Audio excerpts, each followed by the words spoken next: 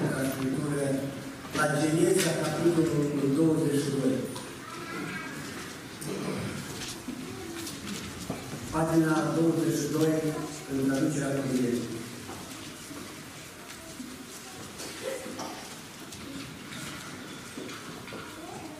După aceste lucruri, Dumnezeu a pus la încercare pe Avram și i-a zis, Avram, iată-mă, a răspuns el.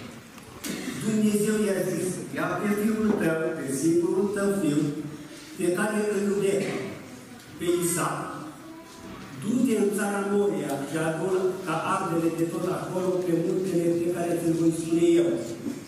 Abraham s-a sculat zi de dimineață, a pus șaua pe măgar și a luat cu el două slugi și pe fiul său Isaac a tăiat lemnele pentru altele de tot și a promis pe locul pe care îi poruncise Dumnezeu.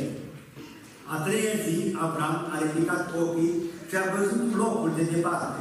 Și Abraham a zis slujilor sale, Rămâneți aici, cu măgarul, eu și băiatul ne vom duce până acolo, să ne închinăm și apoi ne vom întoarce la voi. Abraham a luat lemnele de pe de tot, le-a pus în spinarea fiului său Isaac și a luat în mână focul și pustitul și-au mers astfel amândoi împreună. Atunci Isaac, vorbind cu tatăl său, Abraham, a zis, Tată, ce este fiule? I-a răspuns el. Isaac a zis din nou, Iată focul și lemnele, dar unde este mielul pentru ardere de tot? Fiule, a răspuns Abraham, Dumnezeu însuși va purta de grijă de mielul pentru alele de tot și au mers amândoi împreună. Amin. Amin. Vă rog să ocupați loc.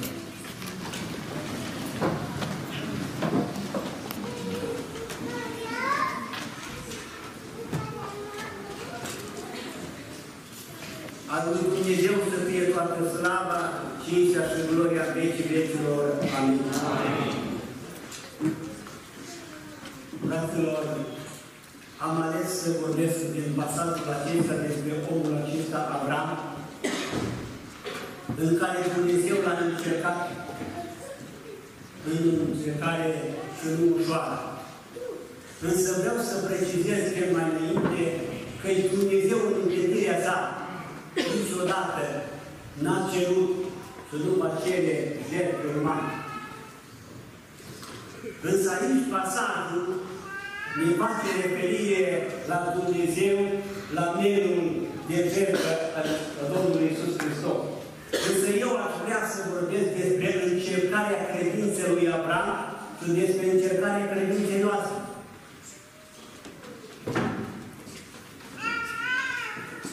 Dumnezeu i-a vorbit de nenumărate ori lui Abraham.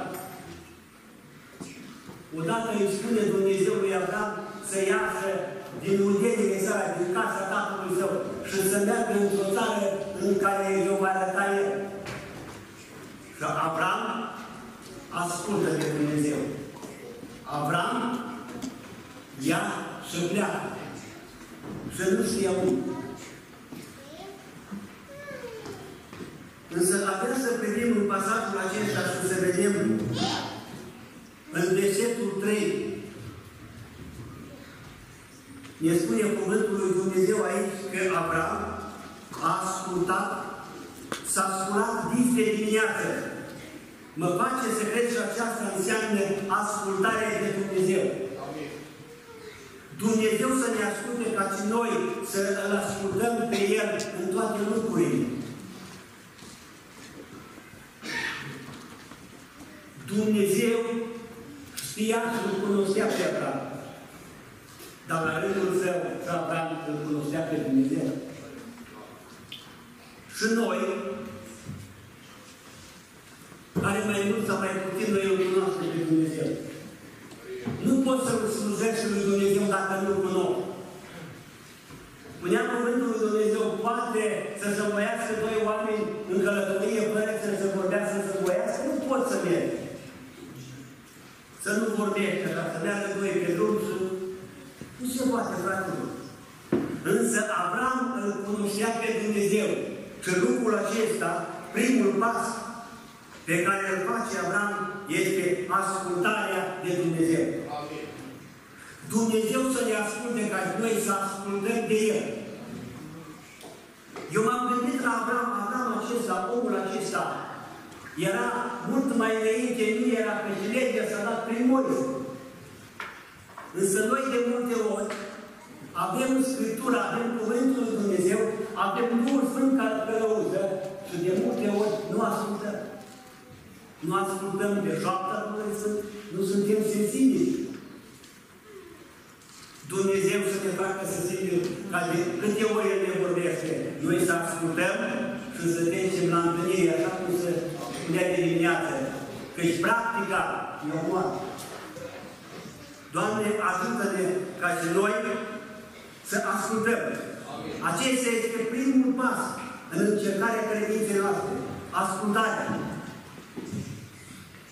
Un alt lucru, un alt pas să vedem în capitolul, în versetul 2.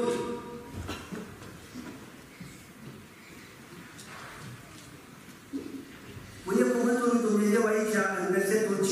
Și Abraham a zis slugilor sale, Rămâneți aici cu măgarul, eu și copilul mă voi duce până acolo să mă închin și apoi mă voi face la vot.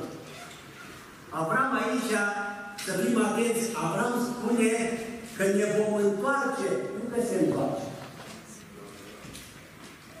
Vedeți dumneavoastră ce credință puternică avea Avram în Dumnezeu? Pentru că Dumnezeu i-a păgătuit un fiu la bătrânețe.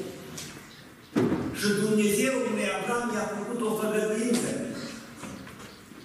Însă Avram s-a lăsat de făgăduința aceasta că trebuia să se împlinească.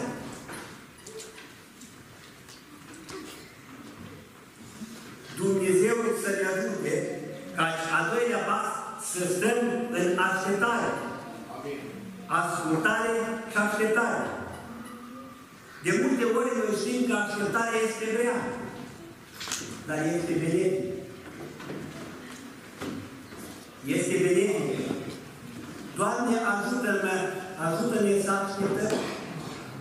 Așa cum noi vorbim și de multe ori de locul acesta se vorbește și spunem că noi stăm în așteptarea Domnului Iisus Hristos.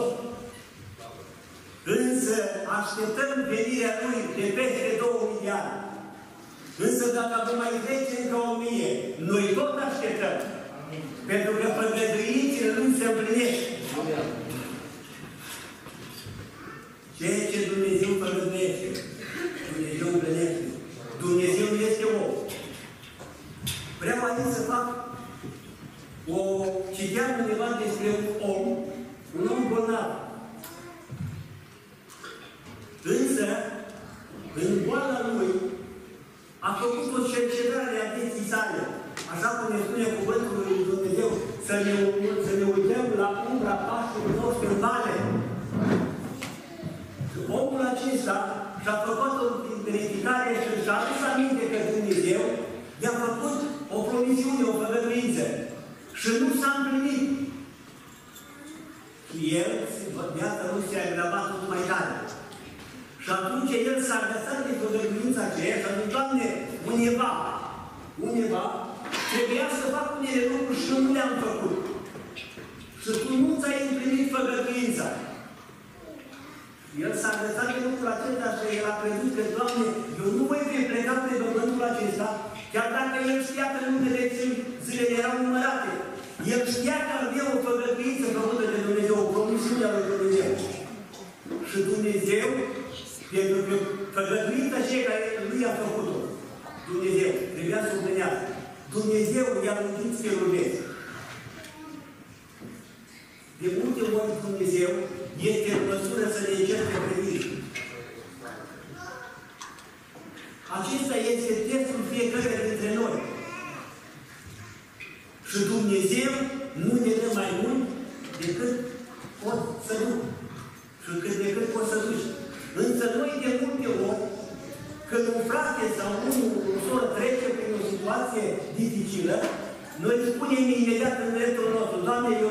cartas recadas.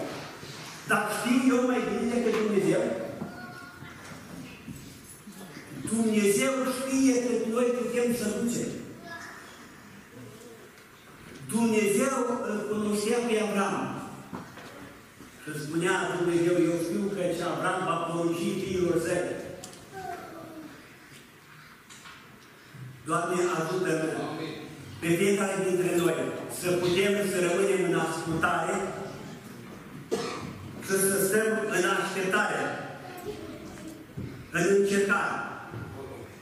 Doamne, ajută-ne! Pentru că ca să poți în încercare, Dumnezeu are scopul ca El să ne întărească și la sfârșit să ies în încercare viitor. Și vom vedea că din încercarea aceasta Abraham a ieșit victorios. A ieșit, a ieșit viitor. Prin Domnul Iisus Hristos. Prin Dumnezeu. Dar trebuia să asculte, el trebuia să aștepte și apoi să mai vedem un alt lucru în versetul 6. Abraham a luat lemnele pentru Abraham a luat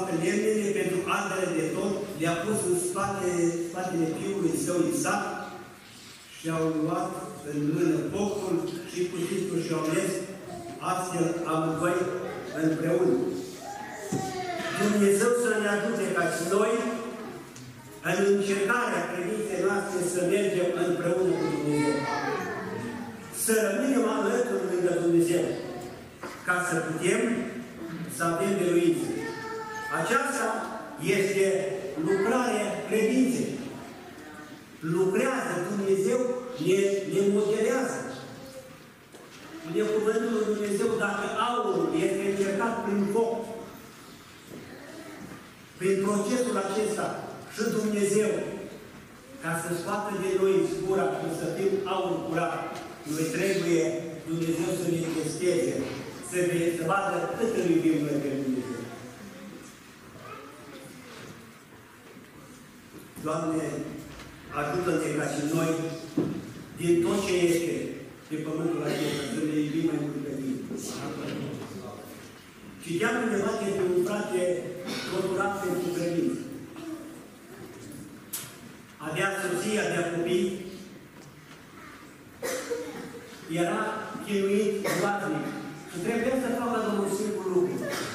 Să se repede de credința lui verbal.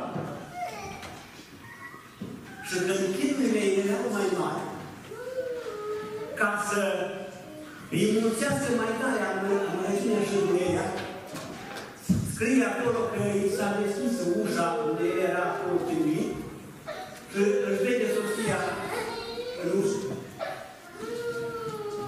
Însă soția, pentru că el când a văzut-o, nu ne spune acolo scriitorul cum a acționat, însă spune că soția i-a răspuns de la ușă, tu să rămâi statornic credințat în credințarea ta. Și nu l-a au scos-o afară pe soție. Cum bine e, frate și Dumnezeu este acela care îngăduie încercări. Un scop bine definit. Însă și Domnul Iisus Hristos, pe lemnul crucii, venind în lumea noastră, pentru mântuirea sufletului nostru, a suferit în locul nostru. Însă noi suferim pentru că noi trăim aici și ne-am născut în păcat. Noi suferim pentru că nu suntem greșiți în multe feluri.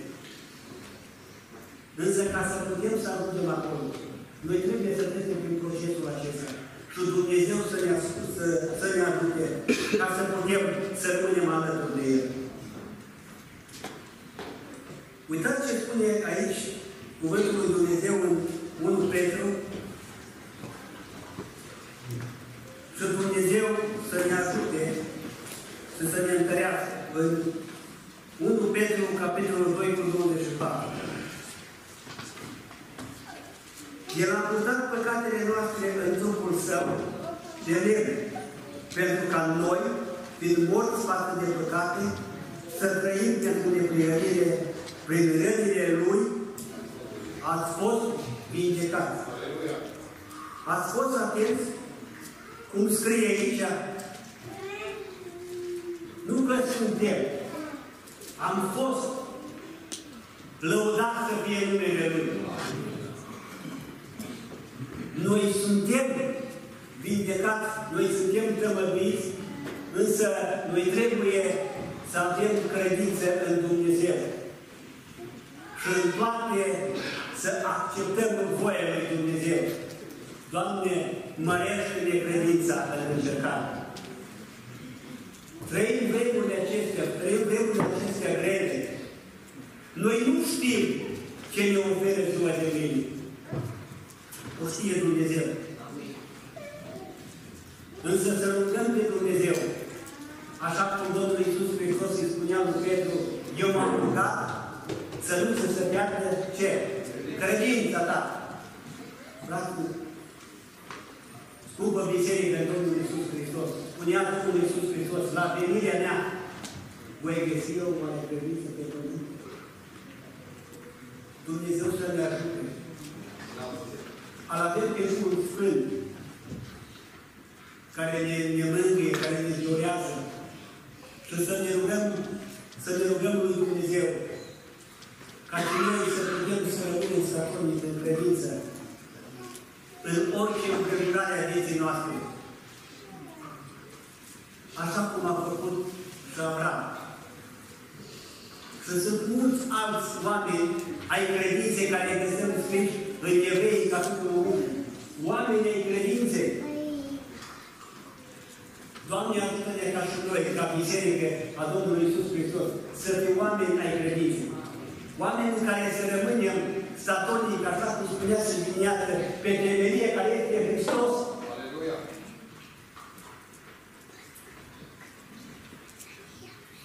Doamne, te rugăm să ai milă de noi. Și să rugăm pe Domnul Iisus Hristos să ne ducească la Tatăl pentru noi. Ca credința noastră, fiecare din locul acesta, să nu se meargă. Dorința lui Dumnezeu este ca toți oamenii să ajungă la mântuire.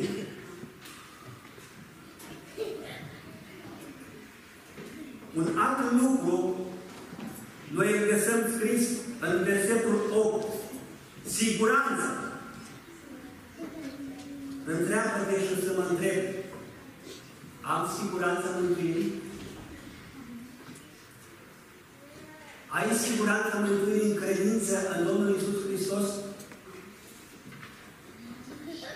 Uitați ce spune versetul 8. Fiule, a răspuns Abraham, Dumnezeu însuși va purta de grijă de lemnul pentru altele de tot. Și au mers amândoi împreună înainte. Doamne, ajută-ne! Ca și noi să mergem împreună înainte cu Dumnezeu. Aceasta este siguranță. Să ne încrezi Dumnezeu. Să rămâi aproape lângă Dumnezeu. Este greu. Am trecut de multe ori și Dumnezeu de multe ori mi-a pus la încercare credință. Însă, niciodată, Dumnezeu nu m-a abandonat. Dumnezeu nu mă abandonează pe mine. Atunci când se pare că nu mai ai nicio șansă, Dumnezeu are soluții. Noi oamenii suntem limitați în vorbe, în cuvinte, suntem săraci, însă cel ce s-a făcut sărac pentru noi, ca noi să fim bogați, El are soluții la orice problemă. Însă pe noi, să ne ajute Dumnezeu ca și noi să avem siguranță. Ascultare, așteptare, siguranță. Haideți să vedem aici, să citim un pasaj din Scriptură din Faptele Apostolului, capitolul 27.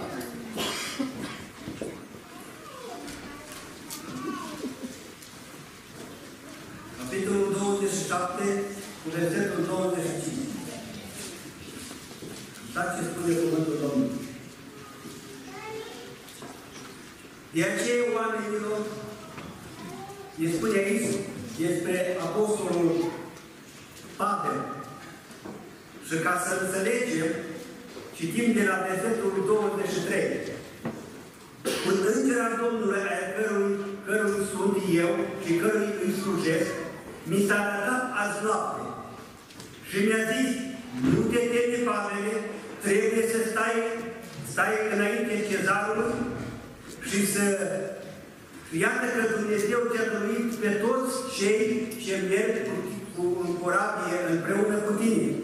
De aceea, oamenilor, liniștiți-vă că am încredere în Dumnezeu că se va întâmpla așa cum mi s-a spus. Cunoașteți pasajul acesta. A pierdut o viață cu un om din corabie. Nu. A fost doar numai pierderea curăbii. Ceea ce Dumnezeu promite, împlinește. Și însă Apostolul Pavel a avut tăria aceasta. Să le spune oamenii și oamenii s-au liniștit. Dumnezeu să ne ajute ca noi să avem siguranța și liniște.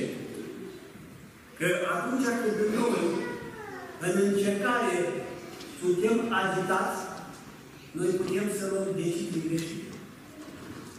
Să se ne costă. Și să nu mai ajungi la devință, la victorie. Dumnezeu să ne ajute și la lucrul acesta. Să avem siguranță. Spunea cuvântul Domnului că în mâinile dacă noi ne-am încredințat în brațul Lui, din mâna Lui, cine ne poate vinde? Nimeni. Haideți ca și noi, în încercare în care noi suntem, fiecare dintre noi, să ne să rămânem în siguranță în brațele Domnului Iisus Hristos. Și Dumnezeu să ne ajute și la lucrul acesta. Amin. Un alt lucru de care îl spune Abraham aici, că el a mai făcut un pas. Și Dumnezeu să ne ajute ca și noi să fim statornici, statornicie, perseverență. Și acesta îl găsim în capitolul 9. Când au ajuns în locul pe care îl spusese Dumnezeu, Abraham a zidit acolo un altar și a așezat pe lemne.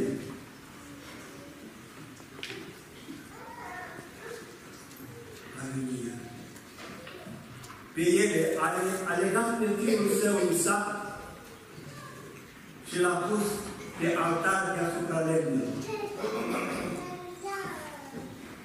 Așa cum vă spuneam mai dinainte. Abraham s-a lăsat de păgălință în Dumnezeu. Și dacă mergem în evrei, ne spune că Abraham credea ca și chiar din cerușă Dumnezeu să-l învie. Se vedea acolo. Am stat și am privit și am studiat viața omului acestuia. Un om deosebit. Tot ceea ce Dumnezeu i-a spus să iasă, el a ieșit.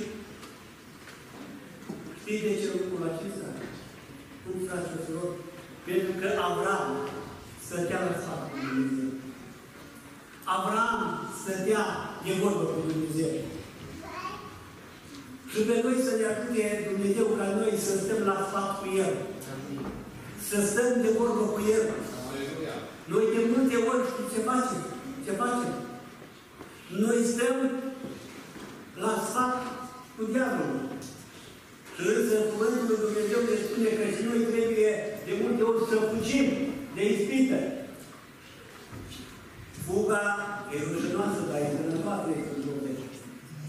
Însă noi de multe ori, în loc să stăm la sfat cu Dumnezeu, să comunicăm cu Dumnezeu, facem alte lucruri.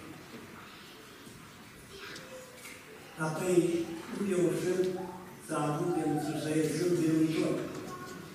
Pentru că Dumnezeu, că ne încearcă, are scopul său, însă noi trebuie să ne raportăm la standardul lui Dumnezeu. Doamne, ajută-ne la lucrul acesta. Dumnezeu să ajute ca și noi să ne raportăm după Cuvântul lui Dumnezeu. Că de multe ori Dumnezeu ne promite, ne, fă, ne face niște făgăduinți și nu se împlinesc. Aceasta nu este vina lui Dumnezeu. Noi trebuie să ne identificăm că pe undeva noi n-am făcut ce Dumnezeu ne-a spus să facem.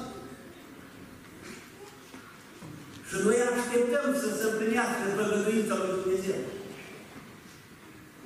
Însă Dumnezeu spune, dacă voi face lucrul acesta și lucrul celălalt, Dumnezeu va fi cu mine. Dumnezeu când a, a, a pregătit încercarea, El a pregătit portița de ieșit din ea. Doamne, ajută-ne ca întotdeauna să alegem voia sa.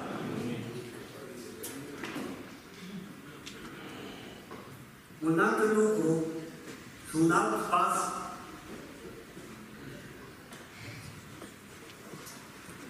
ca să ajungem la victorie, la învingere, să ieși din victorios în încercare, noi trebuie să mai facem un lucru. Uitați ce spune aici. Îi se prezintă Dumnezeu, Îngerul lui Dumnezeu. Îngerul i-a zis să nu pui mâna pe băiat și să nu-i faci nimic rău. Că știu acum că te tem de Dumnezeu, pentru că n-ai purtat pe fiul tău, pe singurul tău fiu, pentru mine. Însă noi, de multe ori, când suntem la mal, ne prăbușim. Ne prăbușim. Când suntem să ajungem la înalt, să ieșim dincolo, ne prăbușim. Dumnezeu să ne ajute ca în alergată de noastră, chiar dacă avem 10 ani, 20 de ani, 30, 50 de ani, pe drumul acesta a credinței, pe, drum, pe drumul acesta a urmat pe Dumnezeu. Dumnezeu să ne ajute să nu ne pierdem nădejdea și credința. Până când Dumnezeu nu ne va chema sau până când El va reveni pe noi de slavă. Dorința mea pentru mine și pentru dumneavoastră este ca niciunul să nu lipsească din Împărăția Lui Dumnezeu. Doamne, ajută-ne la lucrul acesta. Haideți ca fiecare dintre noi să plecăm cu lecția învățată. Că în primul rând, noi trebuie să ascultăm. Spune Cuvântul lui Dumnezeu că ascultarea face mai mult decât trebuie. Decât un vițel cu poane și copii. Cât costă? Însă ascultarea de Dumnezeu. Noi avem pe bani de Scripturii pe cei ce n-au ascultat de Dumnezeu. De Saul care nu a ascultat de Dumnezeu. El a ascultat, dar parțial.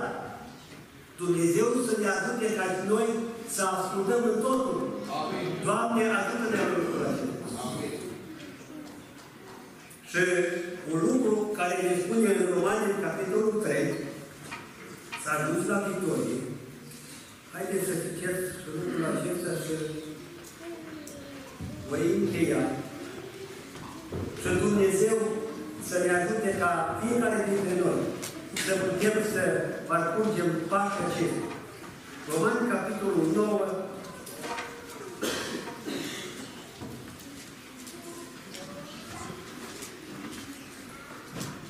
treizeci și trei. După cum este scris, iată că pun în Sion o de potrivire și o spică de credere. Cine crede în el, nu va fi dat de rușine.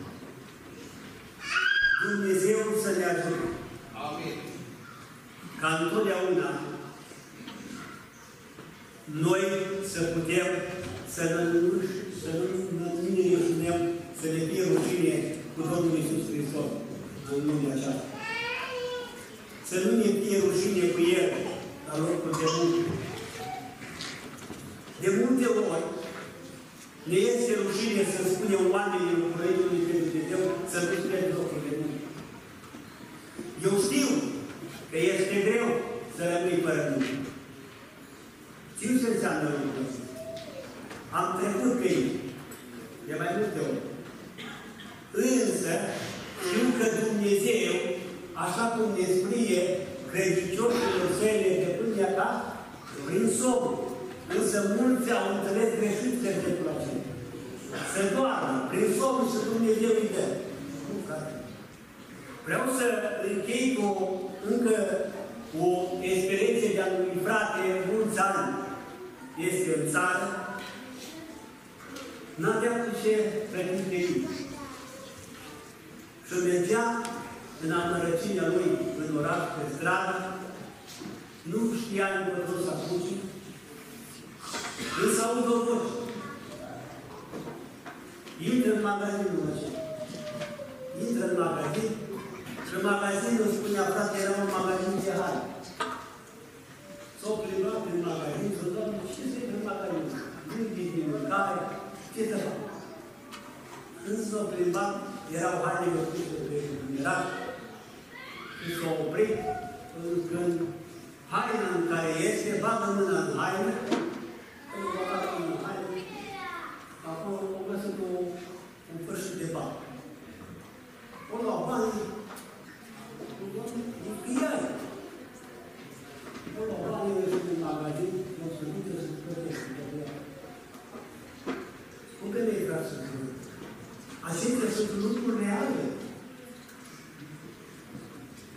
Lucruri reale în care Dumnezeu știe. El s-a întrebat de multe ori, îmi spunea, sunt adevăr, că l-a întrebat. Frate, dar cum? Dar nu te-a văzut de ce vă bani? Dar cine întreba? Dar Domnul să bag până în mână, să iau bani. Nu știa nimeni de bani. Vi se pare să râdeți. Dar este un lucru de realitate care s-a întâmplat și din povestea fratele lucrul acesta, în care știu situația în care era acum fratele din țara respectivă. Însă Dumnezeu știe să poate de grijă copilul săi. Dumnezeu să ne ajute ca în viața noastră noi să umblăm în faptele neprienirii pe care Dumnezeu le-a pregătit să umblăm în ele. Doamne, ajută-ne la lucrul acesta. Și Dumnezeu să ne ajute ca în încercările în care Dumnezeu ne dă în viața noastră, să putem să rămânem sătornici ca când Dumnezeu vom ieși mai mult ca viitor. Și Dumnezeu să ne binecuvânteze. どうもありがとうございました。